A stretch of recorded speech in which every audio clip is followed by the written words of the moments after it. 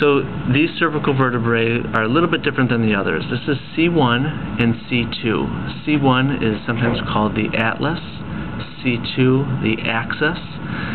C1 sits right underneath the, the skull. In fact, the occipital condyles on the bottom side of the skull are going to rest right here.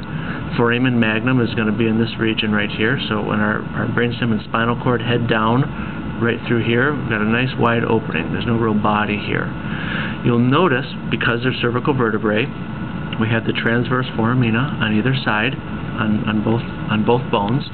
When we put C1 on top of C2, this structure, the dens, is going to sit right in that region and allow for the C1, C2 complex to sit together.